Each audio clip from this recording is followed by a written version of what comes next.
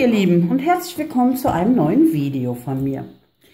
Was machen wir heute? Wir verarbeiten heute wieder ein bisschen Washi-Tape. Und zwar möchte ich heute eine Karte gestalten und zwar mit Hilfe von Washi-Tape.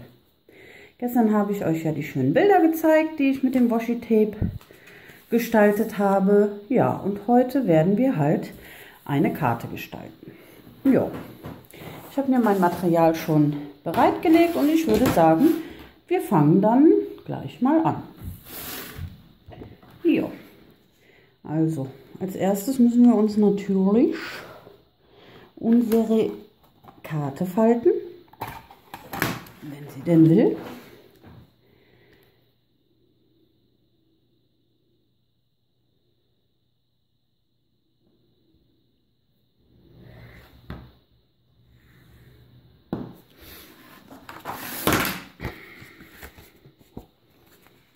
So.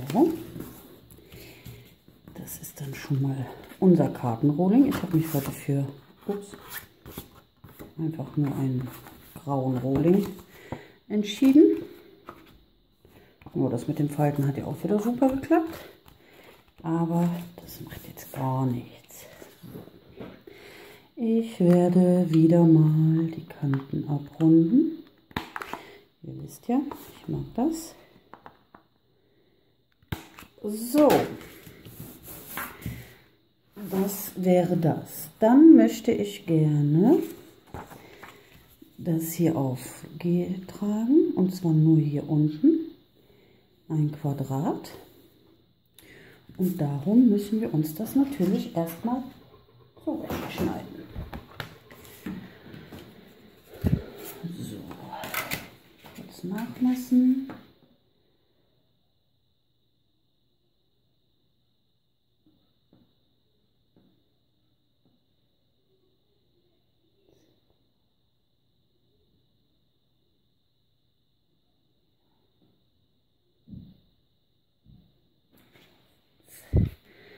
Ja. So, dann schneiden wir uns das mal zurecht. So, das habe ich mir dann zurechtgeschnitten und das kleben wir dann einmal auf die Karte.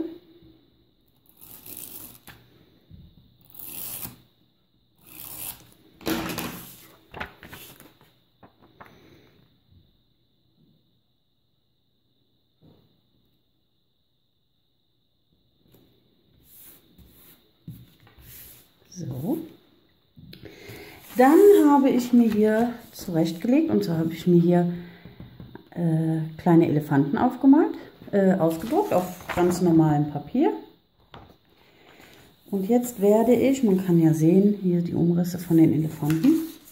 Und jetzt werde ich hier auf dieser Seite Washi-Tape kleben.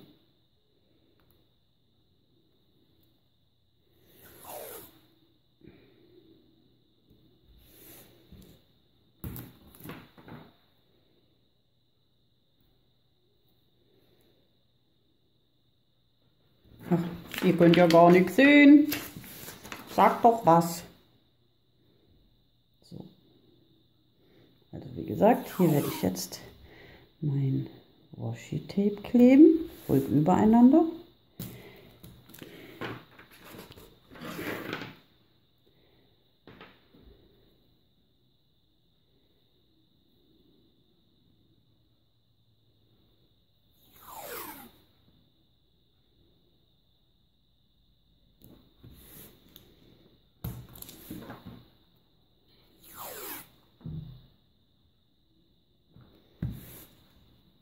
So. Und jetzt werde ich mir das Motiv von der Seite einfach ausschneiden. So, ich habe mir meine beiden Elefanten jetzt ausgeschnitten. Jetzt werde ich diese hier platzieren und mit meiner Maus festkleben.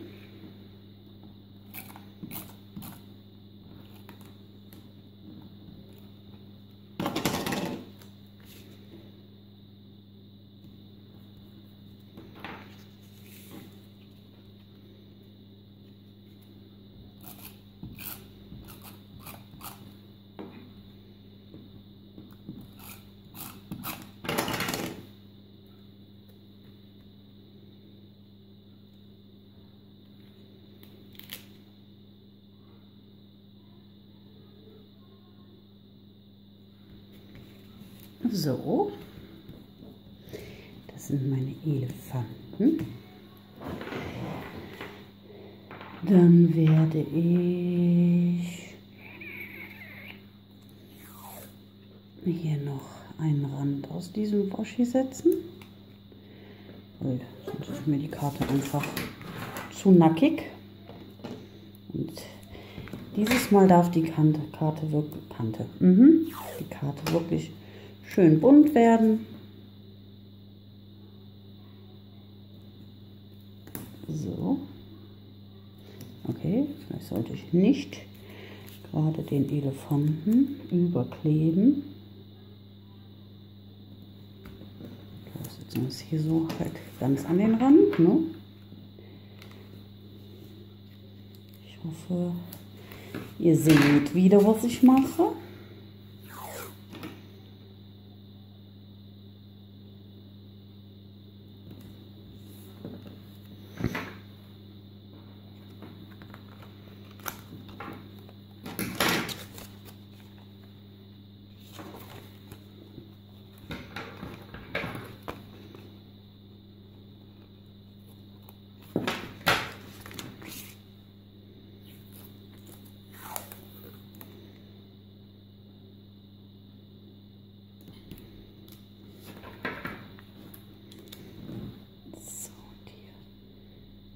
Schön gerade abschneiden.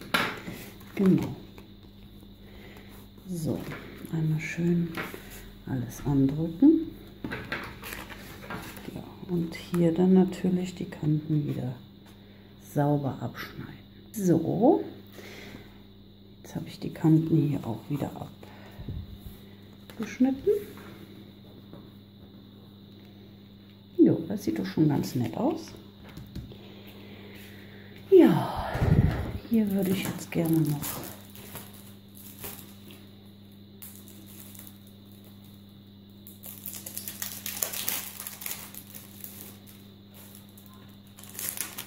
einfach Steine kleben. Die kommen einfach jetzt hier oben rein. Und da das ja so eine komplette Matte ist, schneide ich mir da jetzt einfach mal ein Stück raus.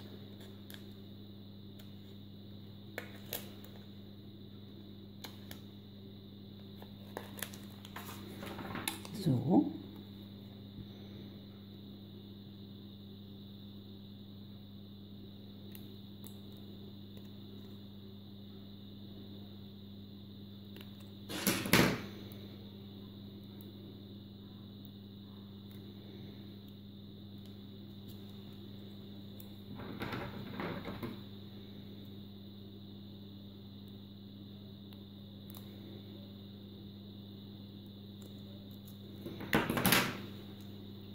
Ja, wie ihr gesehen habt, die habe ich ja heute beim Ziemann gekauft. Und ich hatte ja gesagt, dass das so komplette Matten sind, die man dann, ja, wie man sie braucht, teilen kann. Und das finde ich ganz cool. Ich schneide mir die jetzt einfach mal so, hier so ein bisschen zurecht.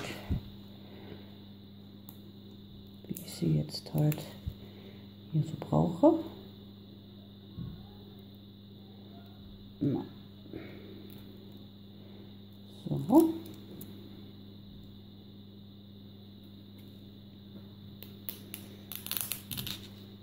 Ups, jetzt habe ich das Papier kaputt gemacht. Ah. Okay, dann kleben wir die da so drauf. Oh, alles gut.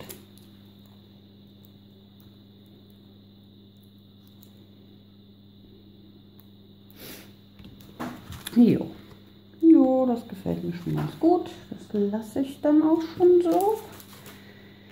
So, und jetzt hier oben, habe ich dann auch noch was vor. Und zwar werde ich da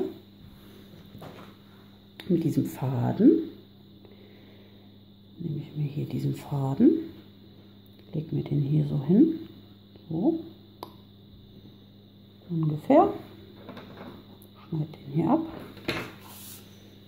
So. Dann nehme ich mein Washi.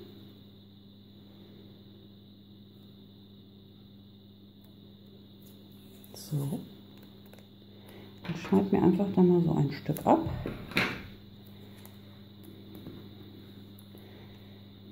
Nehme mir meinen Faden und klebe das Washi jetzt einfach so.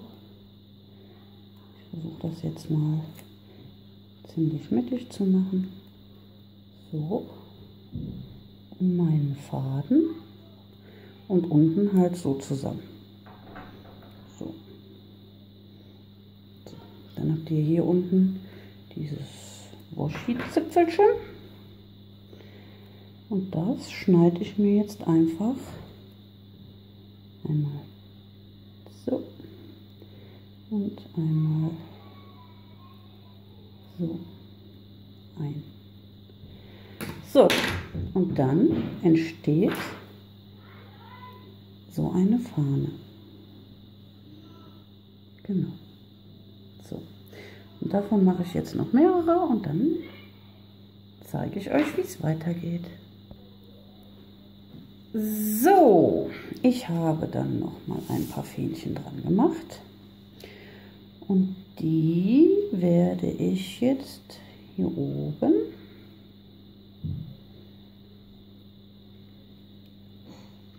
so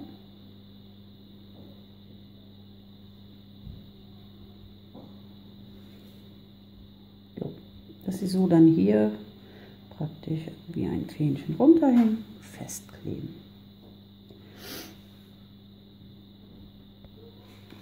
So, die Fähnchen habe ich dann jetzt hier oben auch festgeklebt. Ups. Dazu habe ich einfach hier einen Streifen nochmal Washi drauf geklebt und den einfach nach innen umgeschlagen. So hat man innen auch gleich ein bisschen Deko. Ja, also von vorne gefällt mir die Karte schon ganz gut. Man könnte jetzt hier noch Happy Birthday reinschreiben oder äh, gute Besserung oder ja, wozu man auch immer diese Karte benutzt.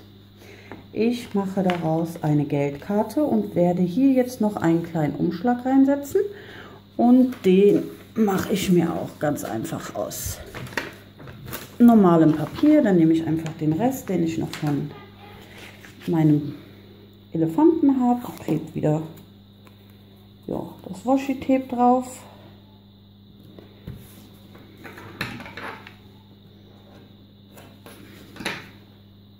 So, das habe ich mir dann einmal geklebt und zurecht geschnitten. Dann, ups, brauche ich einmal Brettchen hier. Und zwar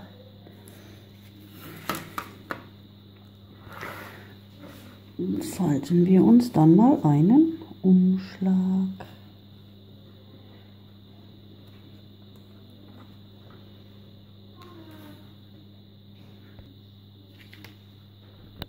Ich muss euch mal kurz bisschen aus dem Licht nehmen. Ich weiß, ich habe gerade eine doofe Beleuchtung. Moment. So, jetzt ist besser. Sorry, ich habe wieder nicht drauf geachtet. So, dann habe ich mir hier meinen Umschlag gemacht. Zum Verschließen habe ich noch mal ein Stück von den Strasssteinen abgeschnitten. Da der Wash hier schön glatt ist, kann man das gut machen. So, den werde ich dann jetzt hier reinkleben.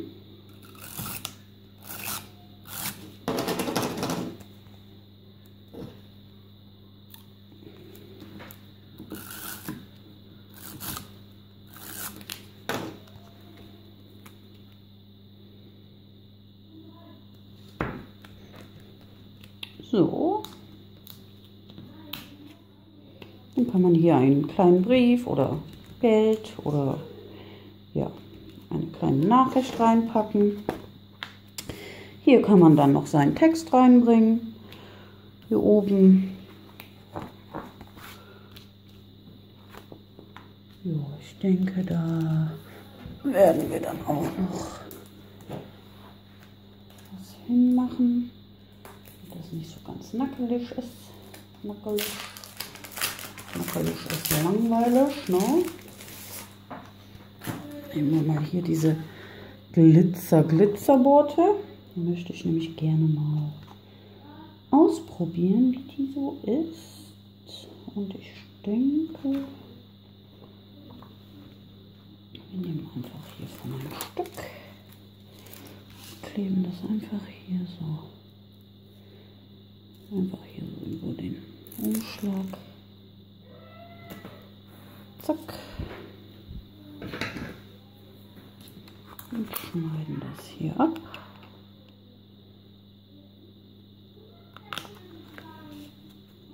So, das andere Stück ist dann genau, das kleben wir dann, nee, das kleben wir einfach hier so auf die Ecke. Genau, so, ihr seht, was ich mache. Das kleben wir dann einfach so da auf die Ecke. Wir schneiden das hier wieder gerade ab.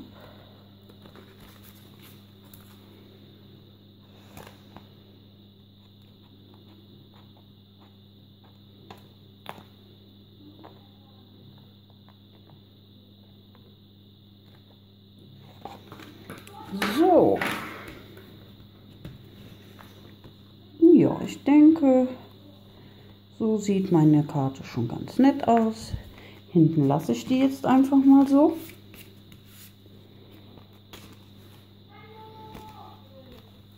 Ja. Und damit ist unsere Karte schon fertig. Ich finde, die ist ganz schick geworden. Da hat sich noch ein kleiner Kleber hin verirrt. Und hier kommt noch so eine kleine Kante raus. Die schneiden wir dann noch ab. Zap, zap. Die will nicht. Ähm, da ist sie. Zack. So, aber jetzt. Aber jetzt, da ist auch noch so eine Kante. Ja, ich glaube, am besten ist, wenn man von der Seite schneidet, dann sieht man das einfach besser. So, genau. Ja, und damit ist meine Karte auch schon fertig. Ich finde, die ist ganz schick geworden.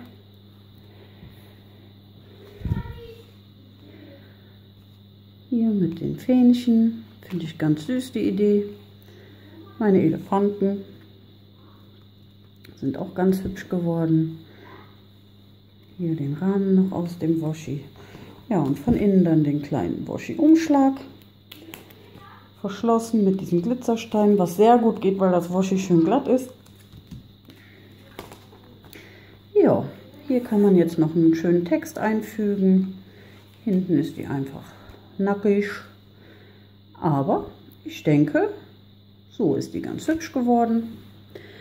Ja, das war dann wieder mal meine Idee zum Thema Washi. Ich finde die Idee zum Beispiel super auch für Leute, die nicht wie wir oder wie ich oder wie, ja, wie wir Bastler halt eine riesen Auswahl an ähm, Motivpapier oder Dekopapier oder Standsteile oder wie auch immer zu Hause haben. Ähm, ja, ich denke, Washi hat, ja, haben einige zu Hause, viele zu Hause. Oder kauf, ich kaufe mir einfach ein paar Kartenrohlinge und ein paar Washi-Tapes. Wenn ich jetzt nur mal gelegentlich eine Karte machen möchte, finde ich, das ist eine tolle Idee. Eine schöne Alternative zum, ähm, zum Designpapier. So kann man dann auch selber sich seine Motive herstellen. Wie gesagt, einfach ausgedruckt, ausgeschnitten. Ja, ich finde es ganz süß. Mir gefällt die Karte gut. Ich hoffe euch auch. Ja, ihr Lieben, und das war es auch schon wieder. Das war mein kleines Tutorial zum, zur Washi-Karte. Ihr könnt mir ja mal in die Kommentare schreiben, wie ihr meine Idee findet. Und ja, ich hoffe, es hat euch wieder mal gefallen. Und ich sage dann Tschüss, bis zum nächsten Mal.